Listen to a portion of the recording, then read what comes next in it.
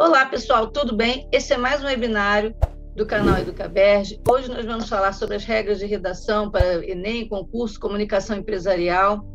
E trouxemos a professora Raquel Baense, que tem vasta experiência na área de comunicação e redação empresarial, é autora do livro Comunicação Escrita pelo Senac Nacional e coautora do Falar Bem para Atender Melhor, da mesma editora.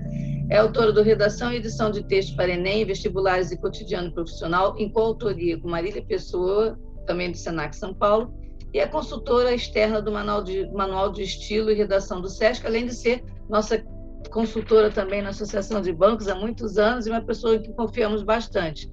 Quero agradecer a Raquel por estar aqui hoje trazendo esse tema que é tão, a gente sabe que ele é tão tão singular e tão, tão, tão delicado, né? Porque acaba afetando tanta gente, não só no Enem, porque no Enem a gente vê porque é publicado, mas no dia a dia das pessoas, quando se escreve um, um e-mail errado, quando se faz uma comunicação que não era aquilo que ela queria escrever. Hoje a gente sabe que muita coisa é via internet então, acaba a pessoa escrevendo uma coisa e tendo uma conotação totalmente, às vezes gera até brigas, conflitos, enfim.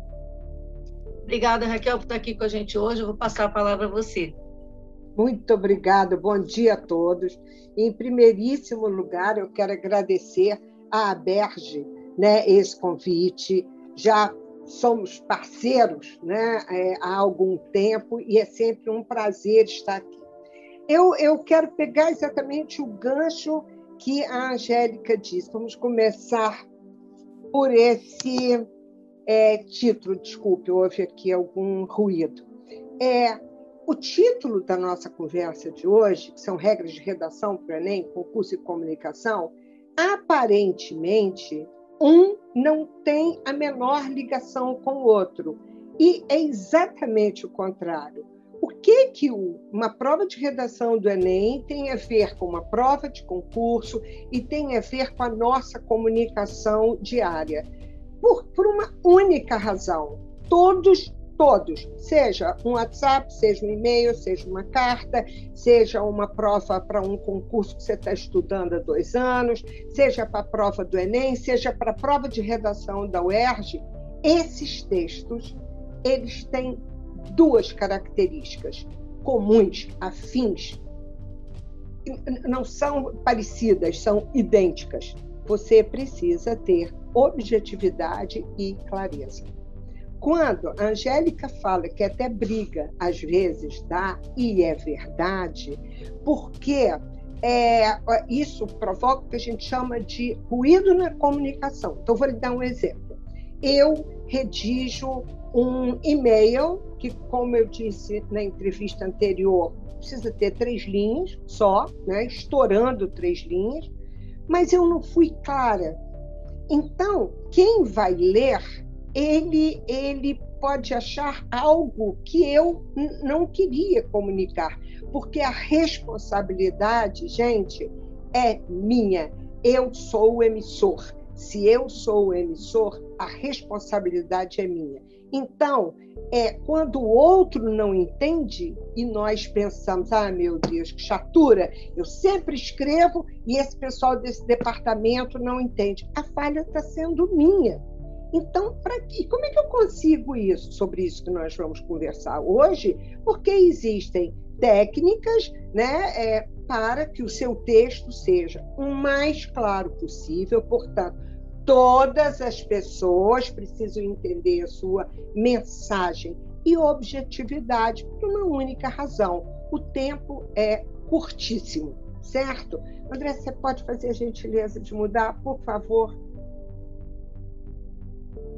Vamos começar dizendo o seguinte: nós temos três linguagens completamente diferentes. Eu tenho uma linguagem que é a linguagem formal que é quando eu escrevo. Tudo que eu digito, tudo que eu escrevo de próprio punho, o que, que é essa linguagem informal? Eu preciso começar com Vossa Excelência? Não, não, parece CPI, né, gente? Vossa Excelência é um mentiroso. Para nós que estamos ouvindo, em algumas partes, chega até a ser engraçado. Eu tenho uma linguagem informal que é como eu falo essa linguagem informal, a gramática, tanto da formal quanto da informal, elas, a gramática ela está presente nos dois. Não é porque é informal que eu posso, estou falando em nível é, formal de textos, ok? Relatórios, WhatsApp, tudo em termos ou do seu trabalho ou do seu estudo. E você tem uma linguagem que é da web, que é a linguagem que é P barra, TD, e, e se nós observarmos, cada vez essa linguagem está mais reduzida, mais reduzida. O que acontece? Nós, mais velhos, vivemos criticando os adolescentes, não é verdade? Ah, porque meu filho fala de um jeito que eu não entendo, ele escreve de um jeito que eu também não entendo. O, o problema é assim, adolescente é o adolescente. Mas na hora que ele entra para a prova do Enem, ele consegue ser formalíssimo. Inclusive, tira uma nota máxima. O problema é quando o adulto, quando nós misturamos essas três é, é, linguagens. Então, eu insisto na pergunta: você relê tudo que você escreve? Você relê o WhatsApp? Quantas vezes é, é, foi com erro por causa do corretor? Então, nos cursos, nos treinamentos, eu sempre a primeira dica é tire, o, elimine, apague o seu corretor ortográfico. Por quê? Em vez dele ajudar, ele piora a situação, porque você quer escrever alguma coisa e sai outra diferente. Aí você não relê, ruído na comunicação.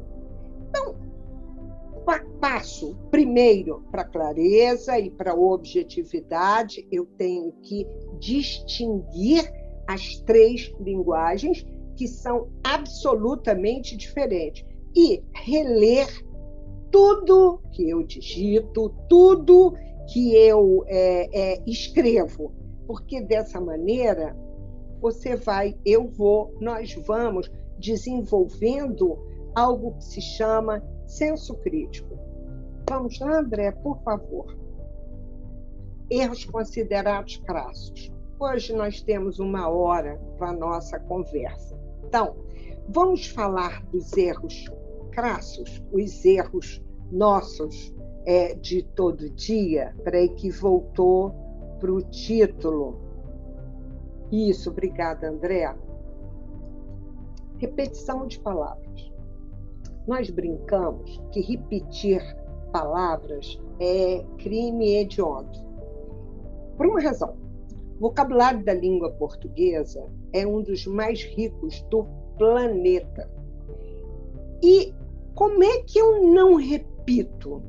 Eu coloquei ao lado ler, ler, ler, ler, ler, ler. Só existe uma única maneira de você aumentar. Sabem o que, que eu tenho ouvido recentemente nos cursos? É, Raquel, eu já li mais eu já li muito mais. Mas a vida está muito confusa. Isso antes da pandemia, hein, gente? Com a pandemia, então aí piorou, né? Porque todos nós passamos a ter tarefas é, que não tínhamos antes. Então, aí, pior, quando você chega à noite, você está exausto. Mas essa leitura, ela é fundamental. Eu tenho um hábito, é, é hábito, né? É, ler é um hábito. Eu leio, eu preciso ler alguma coisa antes de eu dormir. Não é para me dar sono, não, porque é a hora que eu tenho. Então, eu tenho pilha de livros. Outro dia, conversando com o meu médico, foi muito interessante, ele dizendo que ele estuda antes dele dormir. Antes dele dormir, ele lê algum artigo científico, ele, ele, ele lê alguma coisa de história que ele gosta, além do repertório sociocultural, que aí sim, para quem vai fazer redação de concurso, de Enem, precisa ter, tem uma competência que requer, que exige esse repertório sociocultural.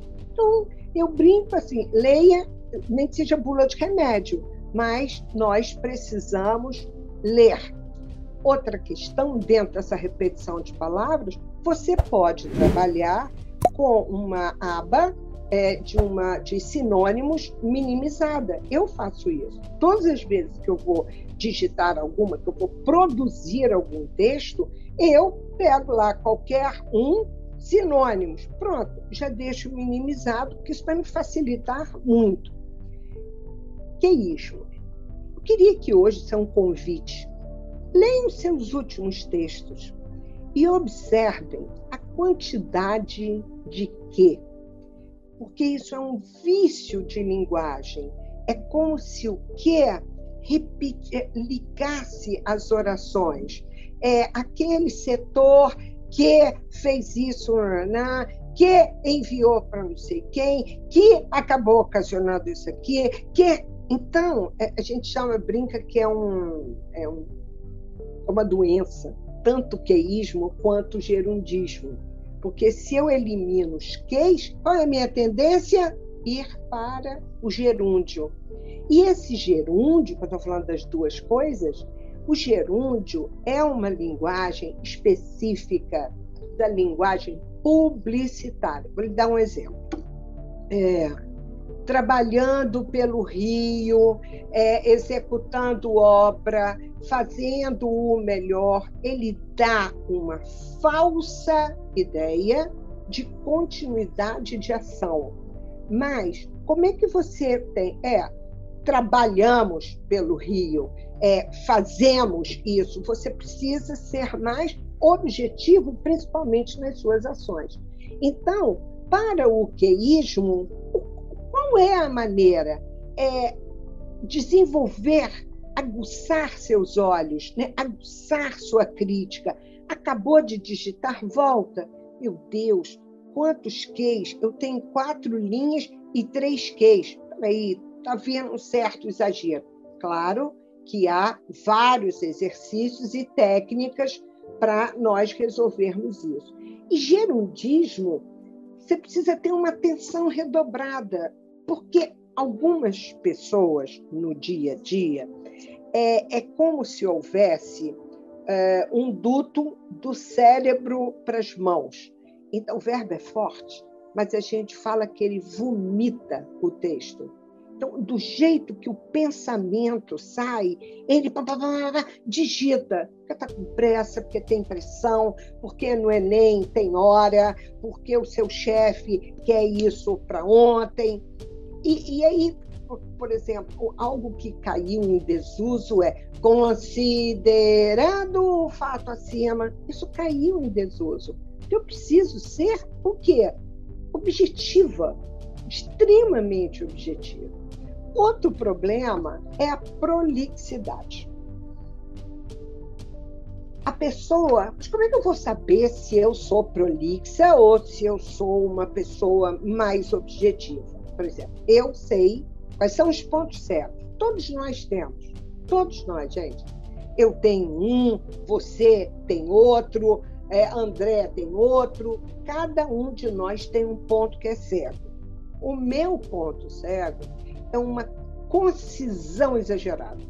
Eu preciso tomar muito cuidado quando eu digito, porque as minhas frases são curtíssimas e eu mando só o cerne daquilo, do que eu preciso passar. Eu preciso tomar cuidado com isso, porque nem todo mundo aceita, gosta ou isso é simpático. Prolixidade é aquela pessoa que, quando ela vai contar um caso, Gente, mas ela dá uma volta. Minha melhor amiga, que eu não sei se está me assistindo, depois vai me matar, que eu estou usando como exemplo, ela precisa me dizer o seguinte: que ela foi ao. Ela viu um filme no Netflix e que ela adorou. Olha, ela conta se ela viu com o marido ou não, é, o que, que ela tinha feito antes, quem era o ator, aí ela esquece o nome do ator, aí ela fica, Raquel, é aquele cara do. do... E aí me dando nervoso, que eu falo, pelo amor de Deus, qual o nome do filme, se ele era bom ou se ele era ruim. Normalmente, não estou, não posso radicalizar, pessoas muito prolixas elas têm um texto prolixo. Então, ele passa do tom, ele passa do tempo. O texto, o texto está aqui, ok? Ele não pode ficar aquém, quer dizer, omitir informações, e ele não pode ir além, que é exagerar no detalhe. Então, é achar esse escopo de forma objetiva e clara somente com a prática que se consegue. E com esse olhar mais aguçado, com uma atenção mais redobrada.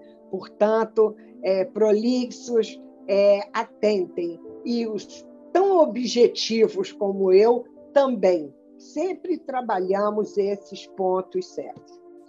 Objetividade excessiva, que sou eu, daí eu ter né, me colocado na roda, e precisa de um bom senso. É, todo mundo tem que entender o seguinte: para quem, quem é meu leitor? Quem é meu público-alvo? Eu posso usar somente jargões ou termos é, daquela profissão? Por exemplo, eu, eu tenho, no momento, estou trabalhando com duas fonoaudiólogas. É, elas, é, é, às vezes, é, vem tanto termo né? Outro dia era a palavra achado, que achado não fazia sentido. E aí eu perguntei: é um, é um, é um termo que vocês usam? Sim, é um termo que nós usamos. Um advogado conversando com outro advogado, certamente eles vão usar inúmeros, empregar vários termos comuns aos dois, mas quando o advogado fala com o cliente, ele tem que mudar essa linguagem, correto? Ambiguidade textual. Eu volto e eu insisto. Eu queria dizer uma coisa, o outro entendeu o outro. Vou lhe dar um exemplo. Se eu falar, o Pedro, após a formatura, ele, Pedro e seus colegas, eles foram encontrar com sua mãe. Eu tenho dupla interpretação. Né? Eu posso achar que o Pedro e os amigos, cada um esteve com a sua respectiva mãe, ou eu posso achar que o Pedro e os amigos estiveram com a sua mãe. Então, olha o perigo, tanto que em vários concursos é, é, é, é vem que vocês falam, nós falamos muito, pois isso era uma questão de pegadinha. Não é uma pegadinha, é uma, é, é uma questão relativa à ambiguidade. Eu queria dizer uma coisa e o outro entendeu outra. Então, isso não pode, não pode ocorrer, em hipótese alguma. Você tem as divagações, que tem a ver com a prolixidade. Aí começa, a gente percebe na redação, gente de concurso, então, é, a, a, banca percebe, ele começa a dar uma volta, mais uma volta. Aí você acaba de ler e diz o seguinte: afinal, esse candidato que queria dizer o quê? Sim, vê isso muito em empresas. Por exemplo, na Petrobras, existe um documento interno da Petrobras que eles precisam ser ali, imagina o tamanho né, da empresa, tem que ter objetividade. Se você entrar com várias e divagações e fica dando muita volta, nem o trabalho rende, nem quem lerá também vai entender. E, finalmente, a questão da pontuação. Eu digo que a pontuação é a, é a coluna nós não temos uma coluna para, certo, nos darmos apoio. Eu aprendi que vírgula era uma pausa para eu respirar. Eu aprendi isso tem tempo, mas eu aprendi assim. Então, eu olhava, falava, ah, meu Deus, isso aqui está tão grande, vou botar uma vírgula aqui porque eu respirei. Não, e ninguém me explicava que a vírgula não é um sinal para eu respirar. é um sinal gráfico. Separa orações, separa a oração principal das suas subordinadas, separa as coordenadas, sem falar em gramática, porque não é nosso objetivo aqui hoje, existem porquês do uso da vírgula. Então, a, a pontuação incorreta é considerado, gente, é, é, crime, é outro crime hediondo. Você só você tem estrutura direta, né? sujeito, verbo, complemento. Você não pode jamais separar o sujeito do verbo e separar o verbo do complemento. É simples, não é simples? Isso é simples, mas isso precisa o quê? De nós. Espera aí, deixa eu achar. Cadê o verbo? Ah, o verbo está aqui. Cadê o sujeito? Está aqui. Cadê a complementação? Está aqui. Eu não posso separar essas partes. E você treinando com muitos exercícios, isso fica facílimo. Tá bem? Vamos lá, André? Por favor. Vocês me desculpem a água, mas é por causa da voz. Erros gramaticais. Inadmissíveis, pois. Por uma simples razão. Você tem zilhões de ferramentas na internet. Então, se você escreve, digita exceção com dois S, Vai aparecer uma cobrinha vermelhinha, verde, azulzinha, seja lá qual a cor, e é um mínimo do seu olhar se voltar para dizer, bom, com dois S não é, então eu vou procurar qual é a forma correta. Há uns 30 anos, não era considerado, nossa, mas hoje sim. É, trocar os S's, errar pontuação, concordância, gente. Concordância é, é, é, dói, dói. E é interessante porque nós é, é, estamos acostumados a, nossa, a gente vai, nós fomos, mas se eu digo que vende-se casas, que é outro erro crasso, passa despercebido. Então, erro. Ah, não sei crase. Tá bem. Então, você vai, entra rápido, vai lá, observe é, em que, onde você não pode usar a crase, porque fica muito mais fácil para você. Outro erro é a questão dos homônimos e parônimos. É a diferença entre sessão, sessão com cedilha, sessão com dois S, sessão com C e dois S, diferença entre onde e aonde, diferir e deferir, de encontro ao encontro. Por que, que é, é considerado grave? Porque muda significado. Se eu falar que as minhas ideias vão ao encontro das suas, nós estamos concordando. Se eu disser que as minhas ideias vão de encontro às suas, nós discordamos.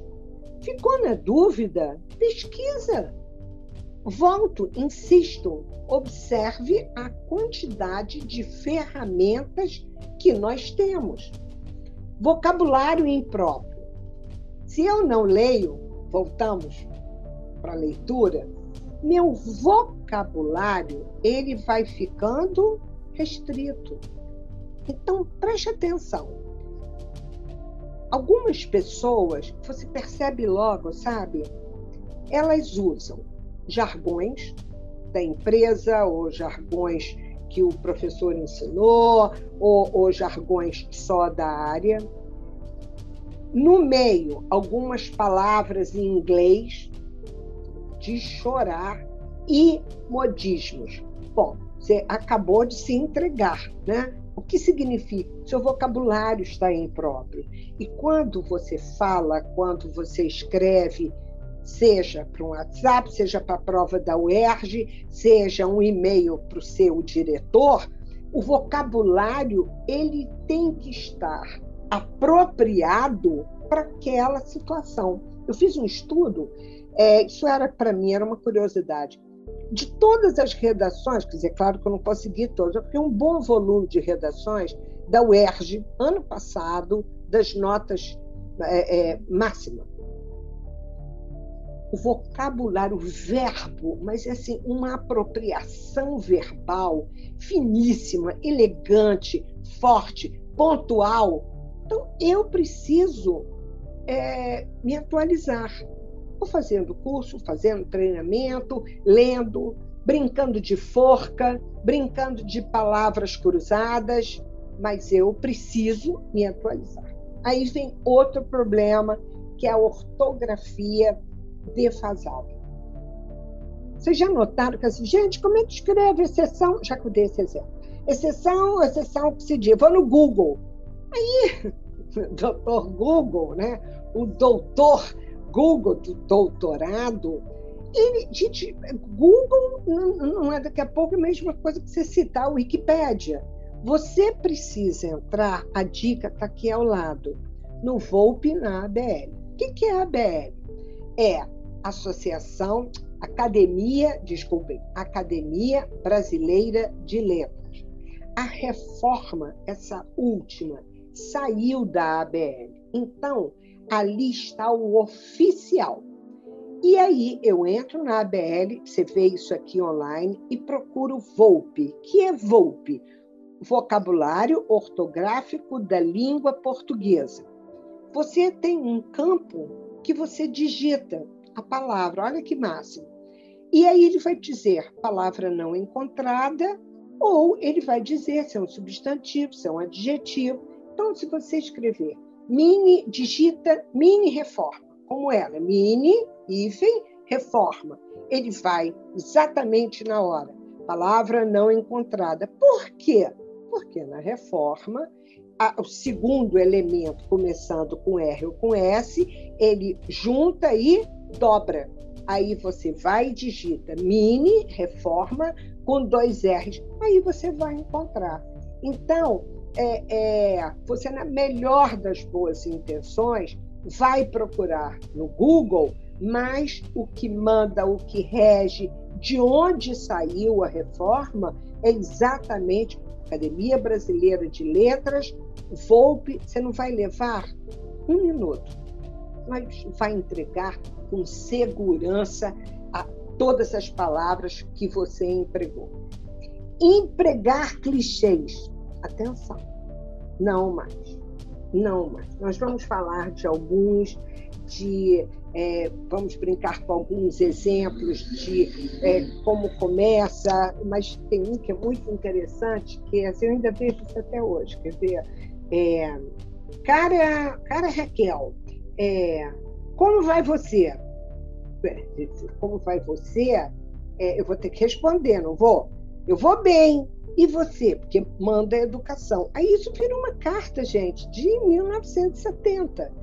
A pessoa acaba não se atualizando e vai empregando clichês ou é, o, o, outro, eu até dei é, para vocês o exemplo né, na nossa entrevista do ATT, que vários, né, no fim, ao final digitam ATT. ATT não é atenciosamente, é inattention é, você estaria terminando com uma. É, como se você estivesse escrevendo tudo em inglês.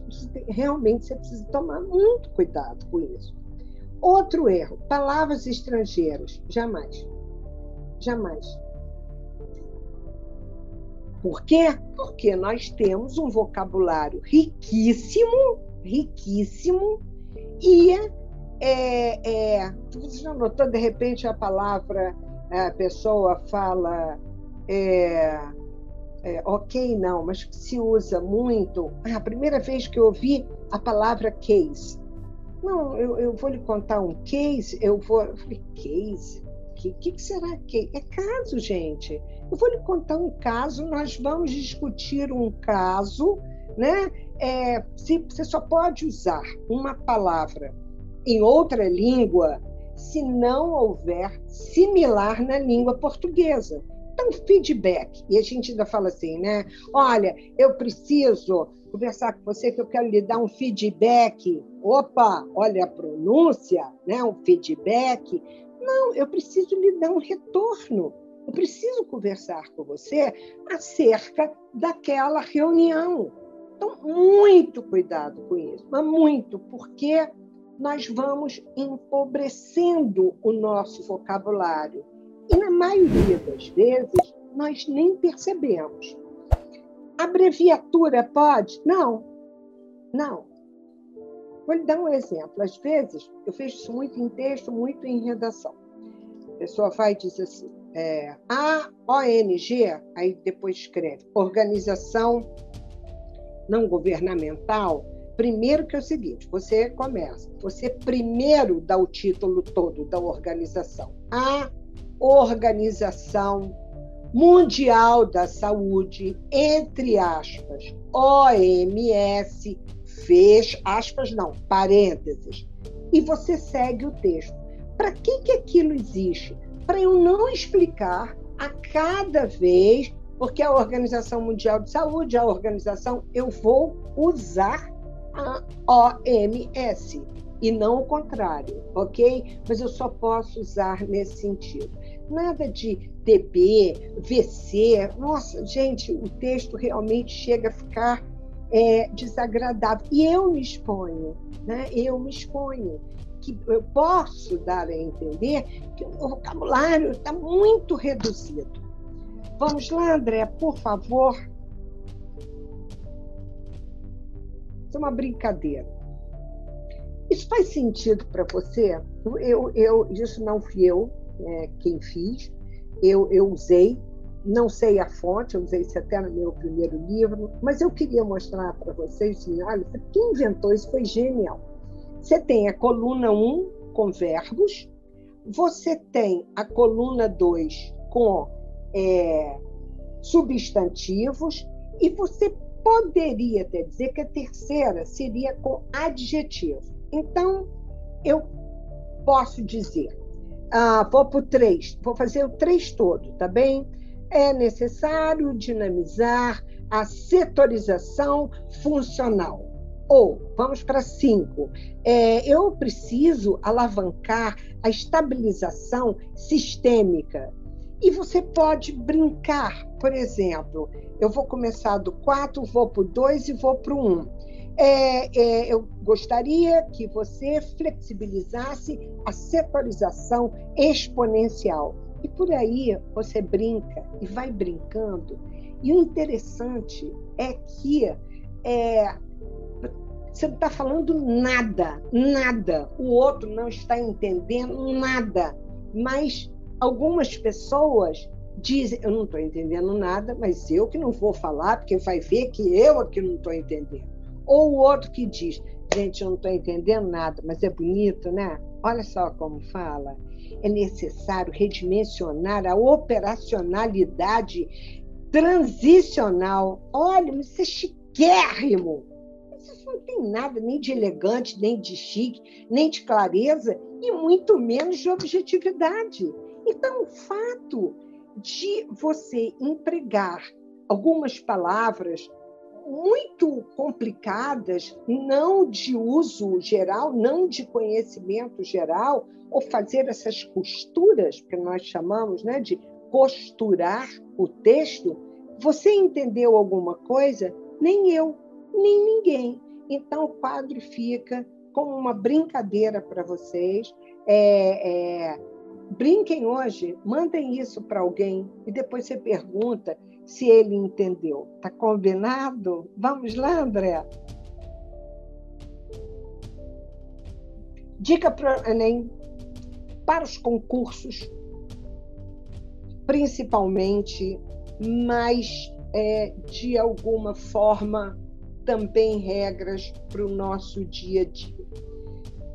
Quem vai fazer uma prova de concurso, a gente não sabe o dia de amanhã, né? Pode ser que amanhã, agora, então, estão abrindo zilhões de concursos. A, a redação em si, ela tem seis passos. Você pense num relógio. e dividido em um, dois, três, quatro, cinco, seis. São seis etapas. O primeiro passo é ler o comando. O que, que é isso? O que, que, estão me perguntando? É, o que, que qual é o assunto? Mas exatamente o que, que eu preciso dissertar? Por exemplo, teve um tema muito interessante no Enem, que foi a persistência da violência contra a mulher. Qual era o assunto? Violência contra a mulher. Mas era sobre isso que o candidato precisava eh, desenvolver? Não. A palavra era persistência. Eu tenho o foco da minha redação, do meu texto, é o foco. Vamos levar isso de ler o comando quando eu vou, é, eu vou mostrar para vocês daqui a pouco, um relatório. É sobre o que pensa primeiro. E às vezes na pressa nós não pensamos, não é verdade? A coisa vai, né? Vai. E aí nós pagamos um preço muito alto por isso. Bom, eu li o comando, eu entendi de fato, mesmo que o meu campo de visão perceba que várias pessoas já começaram a escrever ou a digitar não mais, mas algumas provas de vestibular agora são digitais, mas em prova presencial, isso, se eu não tiver muita segurança, isso acaba mexendo comigo. Lê, pense, pense. E você vai fazer o que as agências de publicidade falam que é o brainstorm. Você vai listar tudo que vem à sua cabeça, sem, sem censura nesse momento. Tudo que vem, você precisa esvaziar seu cérebro para depois, que é o passo 3, você selecionar. Como é que eu vou usar isso na introdução? Qual é aqui no, no conteúdo no meu repertório que eu vou precisar usar nos DEIs, ou seja, nos desenvolvimentos. Nossa, esse exemplo aqui está ótimo. Nossa, eu lembrei de uma estatística excelente. Eu, eu, eu, eu, já vou pensar no que, que eu vou propor. A gente pensa, a gente seleciona, aí eu começo a escrever. Aí eu começo a escrever ou a digitar. E muitas vezes não sei se isso já aconteceu com você, mas é, você quer fazer tudo ao mesmo tempo, né? Você quer redigir, mas ao mesmo tempo você está prestando atenção no quê?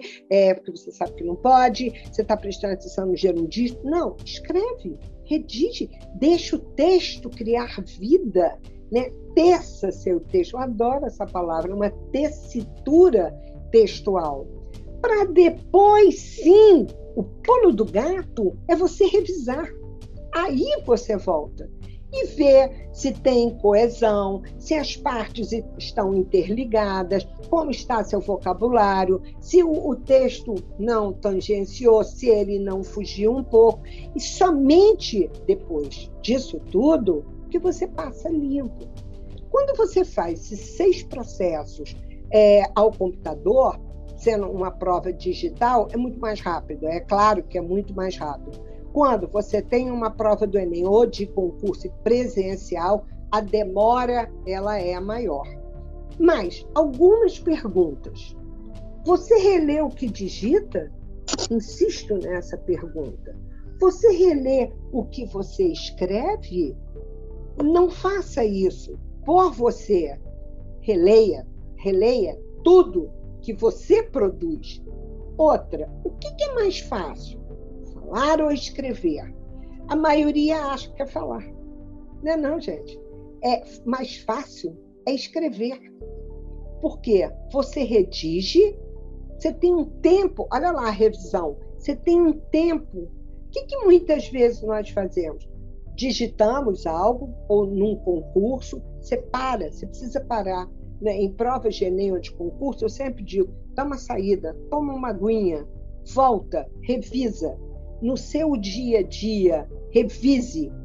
Ah, mas eu, eu reviso só quando é assim para o meu gestor. Não, para o seu colega do lado. Os textos hoje, eles, você não sabe para onde. Na hora que você vai no Enter, você perdeu o controle do seu texto, não é verdade?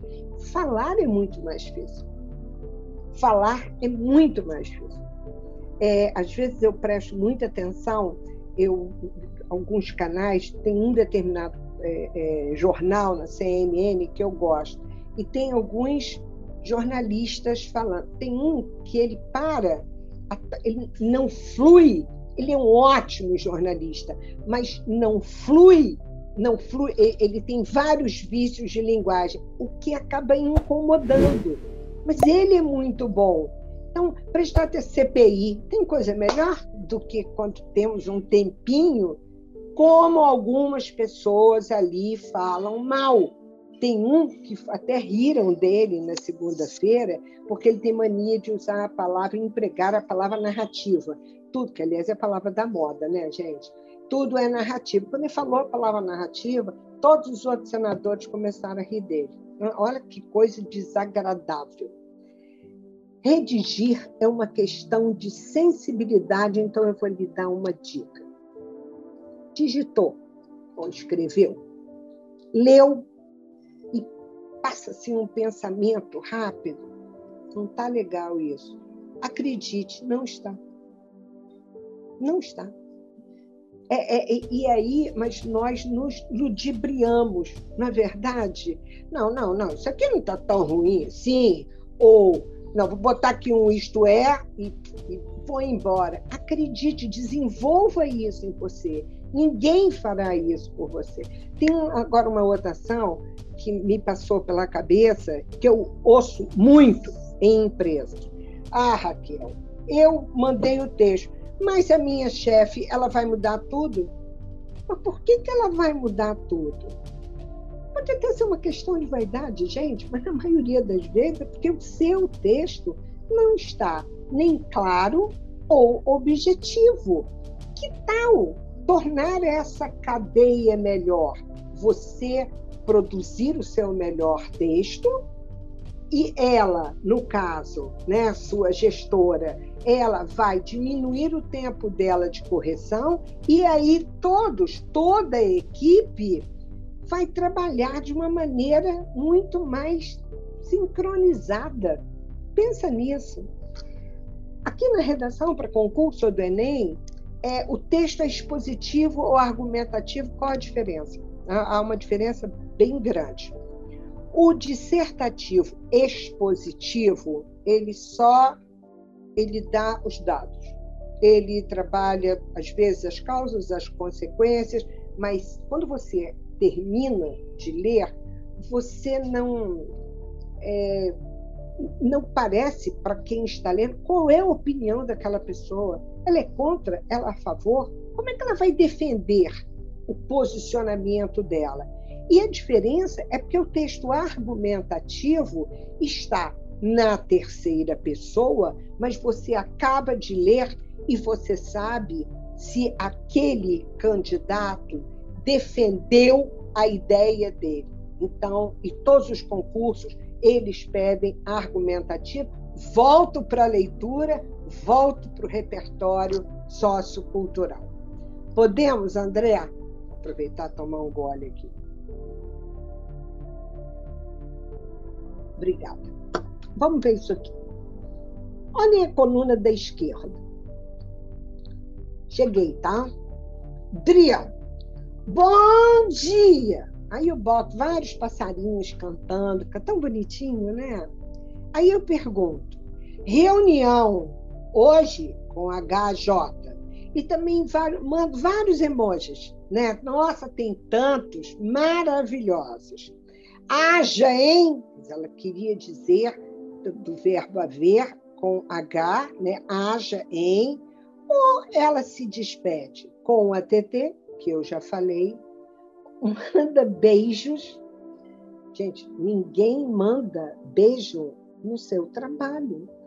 Eu posso contar, porque nós não temos tempo aqui, inúmeros casos de pessoas que, sem querer, enviaram beijos e deu uma confusão.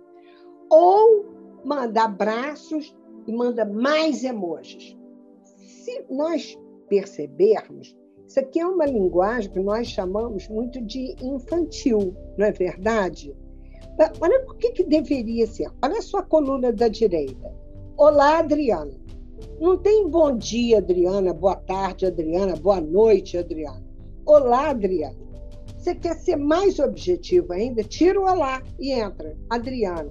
O DRI é na Rádio Corredor. É como eu falo, Lembra-se daquele slide que eu falei da diferença das três linguagens? Pois é. Eu falo, Dria, me, você, você fez aquilo que eu te pedia?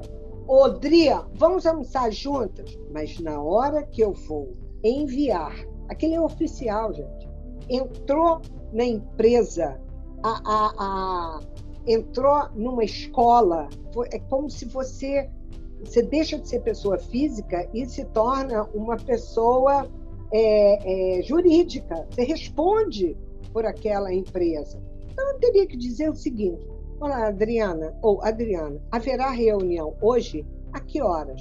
Agradeço sua resposta. Acabou. Simples. Isso pode ser um WhatsApp, isso pode ser um e-mail, e nada é, de. É, como é que é? é, é não, como é que é? é? No aguardo, tem uns que falam assim, no aguardo, tá, sei, no aguardo de quê?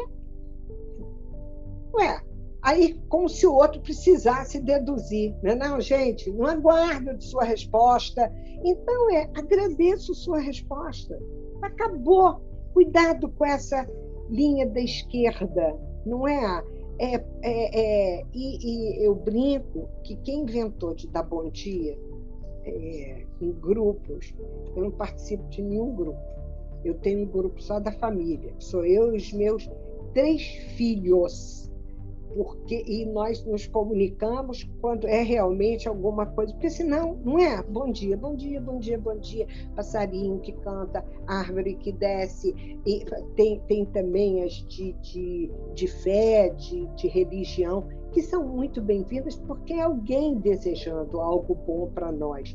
Mas eu já percebi que a maioria, maioria não gosta, acha que é um pouco de perda de tempo.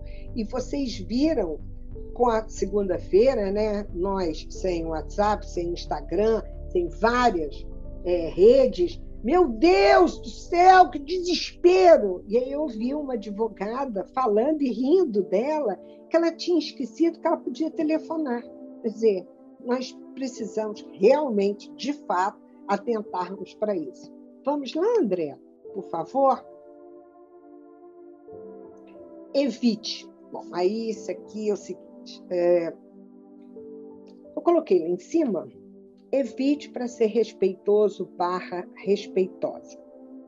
É, primeiro eu preciso explicar uma. É, daqui a pouco eu falo dessa regra gramatical, mas vamos lá.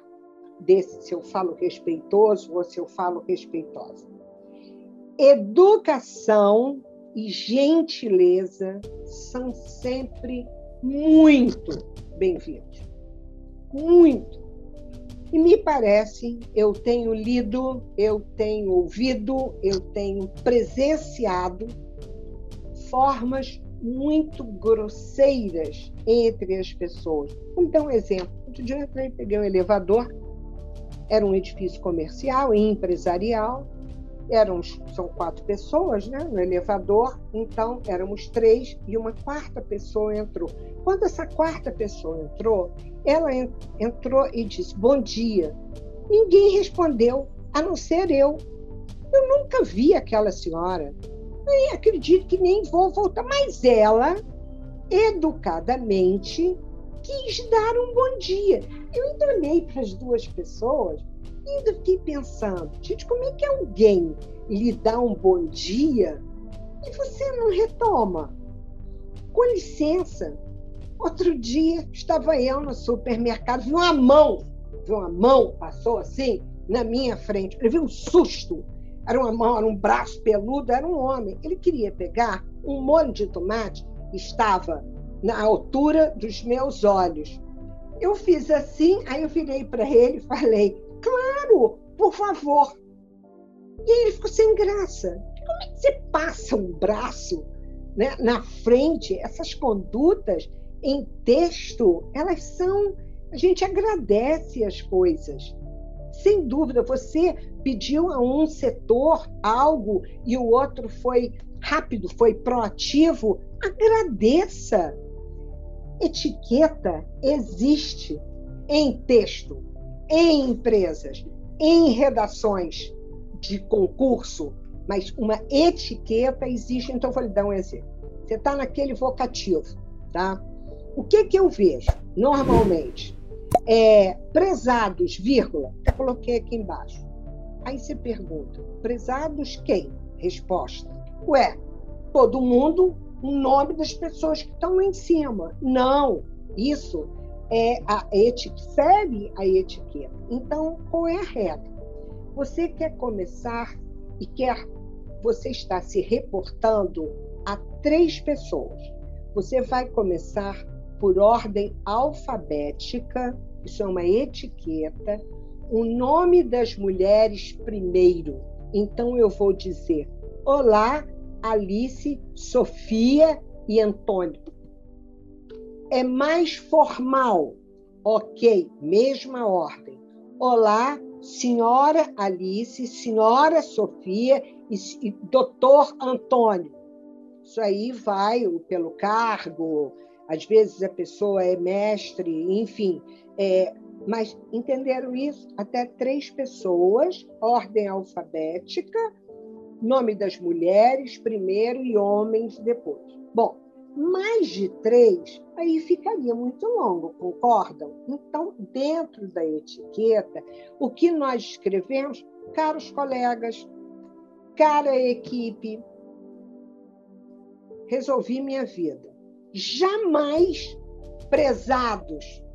Parece um galho né, lá em cima, assim, ó. prezados, vírgula, e sem mais nada. E olha o que eu escrevi aqui embaixo: seja objetivo, objetiva, ou ei, claro, a, eu, a. Existe no momento uma discussão que eu não vou entrar nela, só quero explicar. Que, por exemplo, você fala todo, toda, todes porque para se referir a gênero. É, mas eu só queria dizer que a gramática ela vem do latim. Dentro da gramática, a, o, o masculino ele ele prepondera. Porque se eu tiver nove nomes femininos e um masculino, eu preciso dizer caros colegas. Mas essa questão do TODES, de usar o X, né, ou de usar o E no lugar dessa última vogal, vai da empresa, vai é, da linha da empresa, vai da linha do RH. Então, isso precisa ser respeitado e discutido nos seus locais. No Enem, concurso, nem pensar. É, Segue-se a gramática, sempre. Vamos lá, André, por favor. Olha que legal isso aqui, gente. Vou ler e vou fazer uma pergunta. Então, todo mundo atento. Combinado? Ao analisarmos a atual conjuntura socioeconômica em questão, fatidicamente nos remetemos à situação atual, pois nela contida está a problemática cultural que ocasionará irremediavelmente toda e qualquer resolução possível. Alguém entendeu alguma coisa? Porque não é para entender. Lembram-se do quadro que eu dei das três colunas? Isso aqui foi feito, eu coordenei colégio pré-vestibular durante muitos anos da minha vida. E tinham dois alunos lá no final escrevendo essa besteira e rindo. E eu eu falei, para quê? Agora, rápido. E peguei esse papel e botei os dois para fora, porque depois que eu fui ler, nós rimos muito, porque aquilo era um presente para mim. O fato de você usar palavras tidas como sofisticadas, sem ligação, não leva ninguém a lugar algum. Olha, tem conjuntura socioeconômica, fatidicamente, quem sabe o que é isso? Mas situação, aí vem problemática, irremediavelmente. Não tem, seja crítico, tenha bom senso, desenvolva isso. Primeiro em você. Hum, isso aqui que tá legal, isso não. Ou, não entendi. Não entendi. Mas a gente sempre acha, na é verdade, que o outro está certo e que nós estamos errados. Desenvolva sua crítica, desenvolva seu bom senso, leia, leia, assista a bons filmes. Veja, nossa, hoje então tem sei, milhões de palestras, né, peças de teatro, excelentes livros, mas estude, estude para que você desenvolva sua crítica e seu bom senso. Vamos lá, André?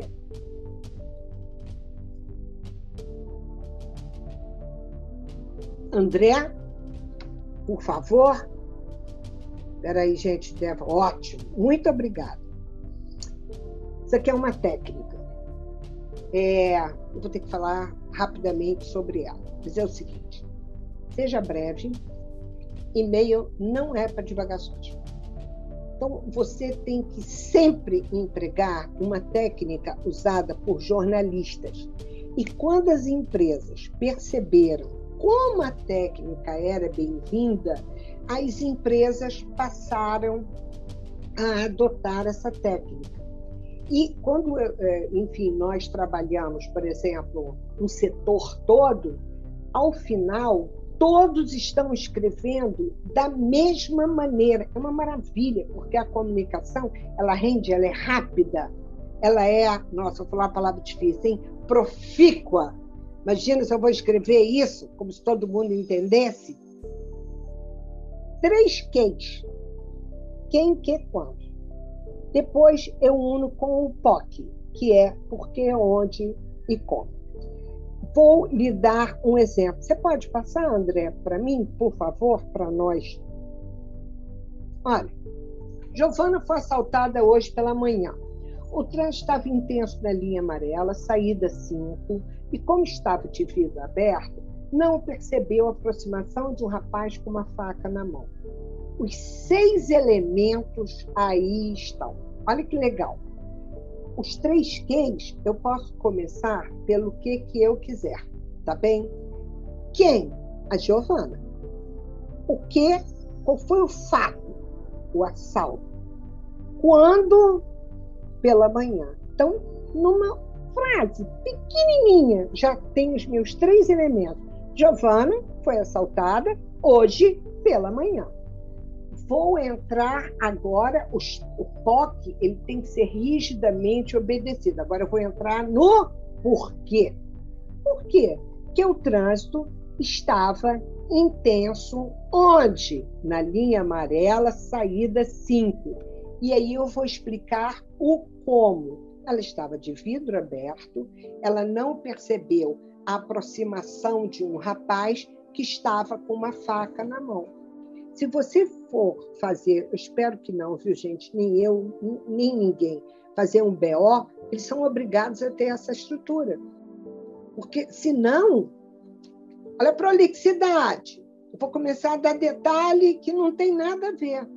Então, é, no, nos cursos, a gente bate isso muito, mas fica a dica. 3Q mais POC. Isso ajuda você a organizar seu pensamento. No início, você deve é, é, listar para depois, enfim, elaborar seu texto. Eu espero que isso ajude a comunicação. Vamos lá, André, por favor.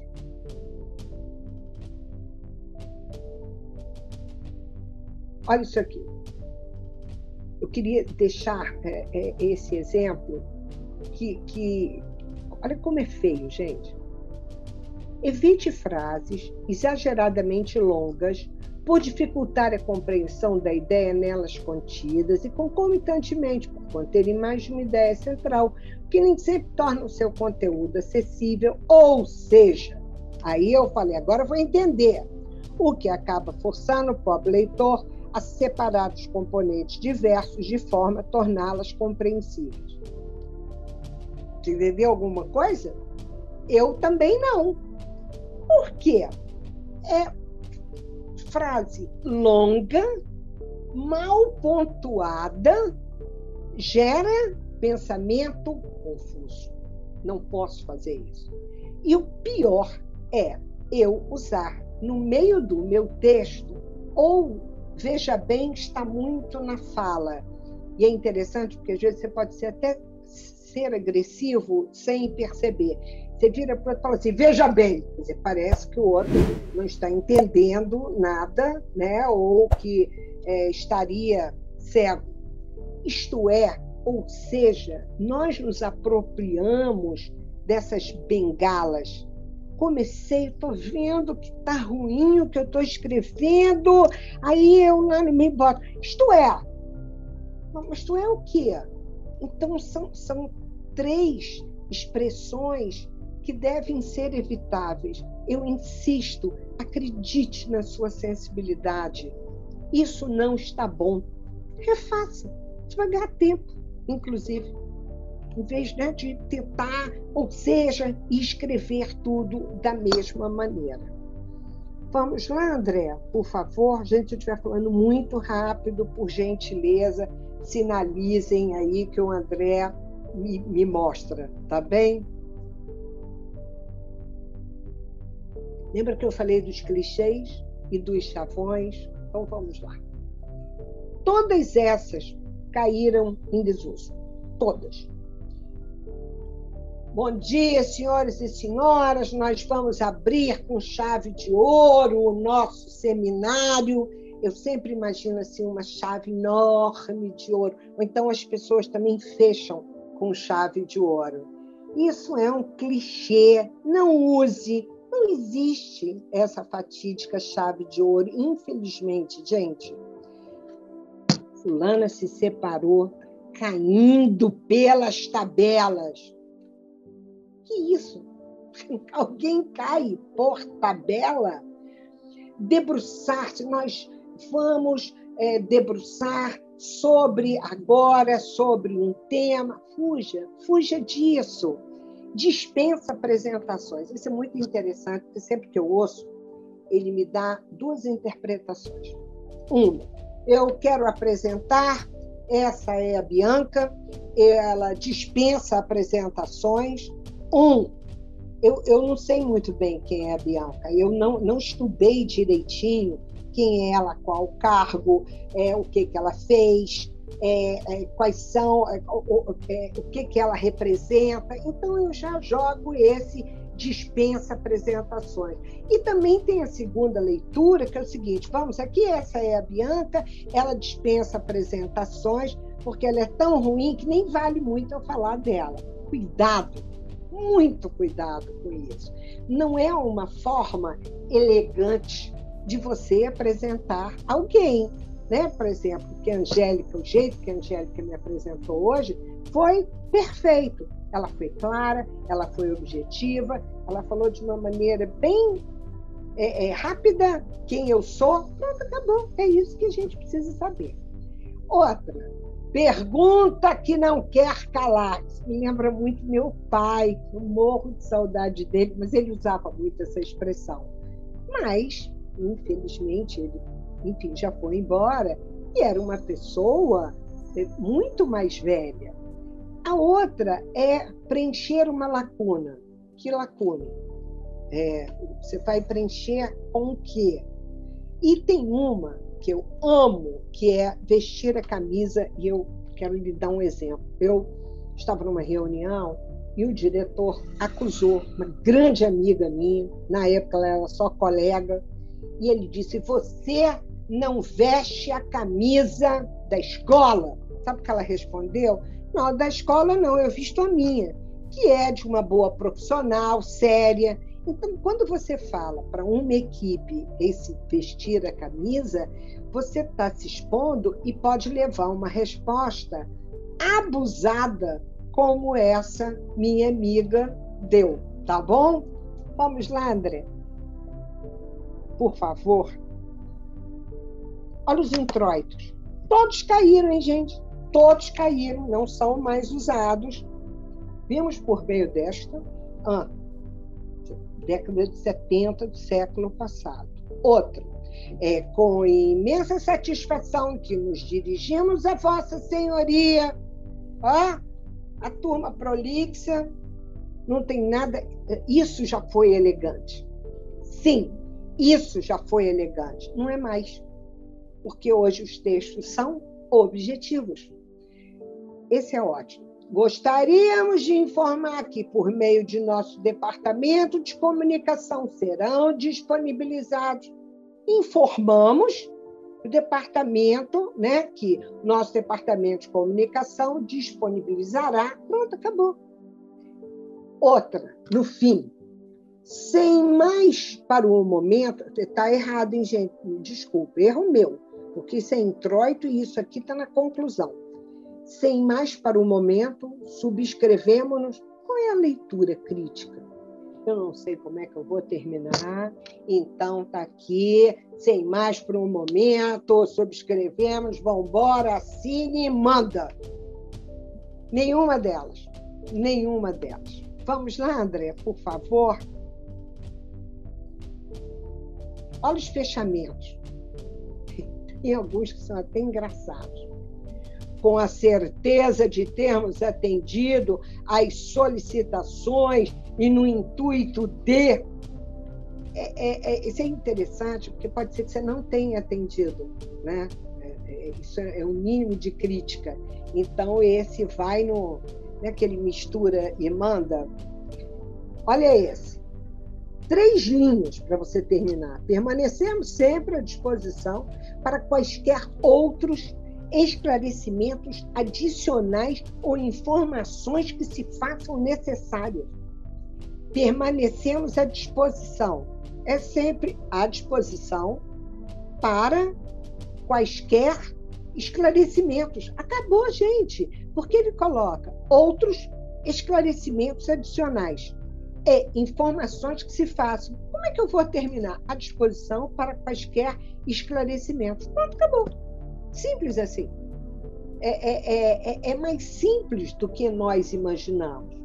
Servimos-nos ainda da presente para manifestar os nossos agradecimentos pela atenção dispensada.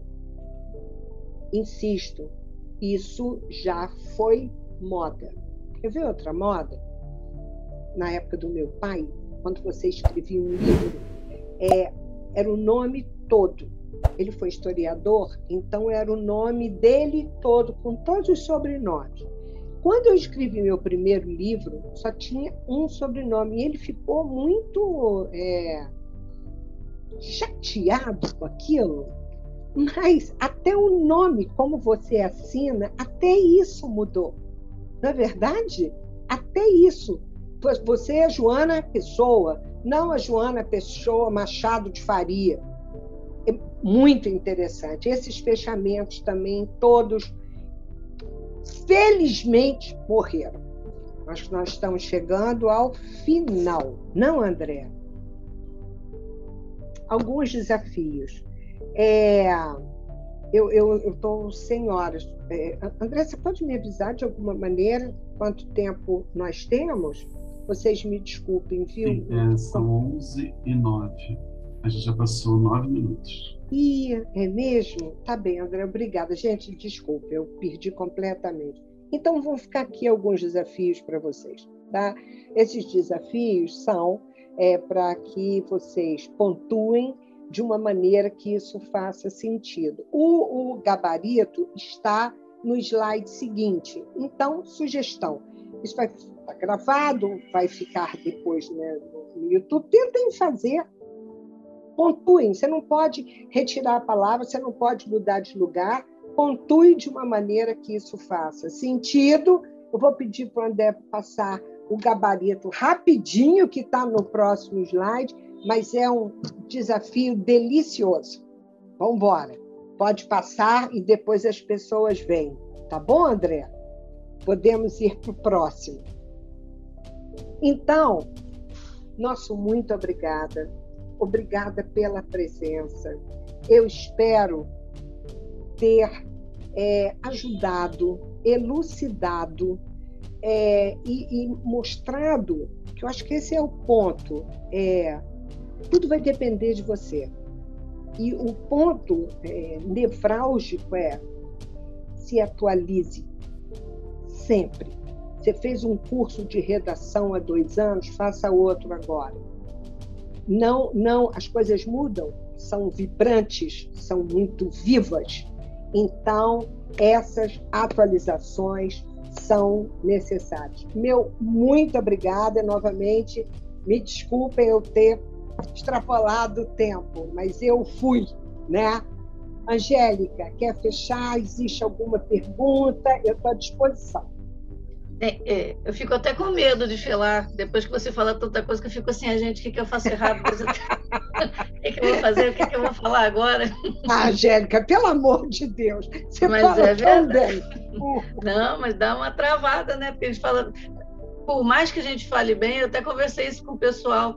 Toda vez que a gente vê, a gente vê erros que a gente normalmente estão ali todo dia, né? É uma coisa Sim, muito claro, engraçada. é natural ser humano, por isso que a atenção Sim. tem que ser redobrada. Não é? Mas, realmente, realmente. Mas tem coisas que você falou que eu falar, ah, gente, eu fico só pensando, fulano, cicano, beltrano, devia estar assistindo isso aqui hoje. É, é, é. Mas que bom, vai ficar gravado, né? Pois é. E nós estamos abertos, enfim, né? Mas é indelicado alguém... mandar o link e falar assim, assista isso, porque já vai saber que eu estou falando dele, né? Ah, mas você pode falar assim, quer ver? Olha, é, compartilhe, por favor, porque aí tem uma chance da pessoa né, abrir, Assistir. se ela for curiosa. Mas é, é, tem, tem uma questão, Angélica, que eu, que eu não falei. Um diferencial hoje, é, em qualquer empresa, é como você escreve e como você fala. Isso, é, antes, era só o técnico. É, né? Ele é um excelente técnico. Hoje, não. Tem que ser a técnica e o, é, o comunicar. Tanto que quando é, o primeiro passo para você ingressar numa empresa, tem uma redação. Tem uma redação. E no vestibular, a redação, por exemplo, quem vai fazer medicina, ou a, competência, o que faz ele passar ou não, é a redação. Em peso 4 na UFRJ. Porque na medicina, candidato a medicina é muito bom ele sabe tanto química quanto história. Todos são muito bons. O que difere? A redação. Então, é uma forma, sim, de diferencial de mercado, como eu redijo e como eu falo. Com certeza. Obrigada, Raquel, por estar aqui hoje com a gente. Eu que te agradeço. E se houver alguma pergunta, e é, se não sei, estou dando um tempinho, porque mandar... realmente o YouTube tem um delayzinho. André, já tem alguma Sim. pergunta? Não, Senão ainda você não. Você pode me mandar depois. Com certeza. Ainda não temos nenhuma pergunta aqui no chat. Quem quiser pode utilizar o chat para fazer uh, as suas perguntas. Sim. E aí, caso também é, cheguem depois né, de nós desligarmos, é só vocês me passarem e eu eh, respondo né, com o maior prazer. Com certeza. Eu, né, eu espero ter ajudado, né, ter elucidado e não provocado receio. Né? Não, é engraçado não. que as pessoas falam isso comigo. Nossa, eu penso três vezes antes de falar com você. Não, pelo amor de Deus, não, não. Né? Comunicação é tudo na vida. Com certeza, não precisa mesmo. Não, a gente precisa aprender e é isso que você está falando. A gente esquece e as coisas mudam, né? Até Sempre. na comunicação também Sempre. muda. Sempre. E tem, às vezes, também aos vícios de linguagem de determinados setores. Se você, você sabe disso, né? André também sabe. Todos falam com o mesmo vocabulário eu acho isso interessantíssimo. Parecem assim robôs, todo mundo fala do mesmo jeito, né? Usa as mesmas palavras, emprega as mesmas. Aí ele tem que mudar de setor. Ele vai ter a maior dificuldade, porque ele está habituado a algo engessado, fechado ou arcaico, pior. né? Ou então arcaico, é pior ainda. Mas, enfim, tomara é, tenham gostado. Você quer finalizar, Angélica? O que, que você quer? É, nós gostamos bastante. Eu acho que todo mundo vai gostar também. Então, muito obrigada, Raquel. Vou até finalizar agradecendo mais uma vez. Que... Eu que agradeço, né? Mais uma vez, a parceria e o convite. Qualquer gente, quem está ainda né, nos ouvindo, qualquer pergunta, podem é, é, fazê-la porque aí ou o André ou a própria Angélica né, me mandam e eu respondo com o maior prazer. Tá bem? Um tá abraço bom, então. grande. Um ótimo Até a próxima, dia para então. vocês. Até a próxima. Obrigada. Obrigada. Eu que agradeço. Tchau, beijos. Tchau, tchau. tchau eu tchau. mandei beijos, sem gente. tchau, um abraço.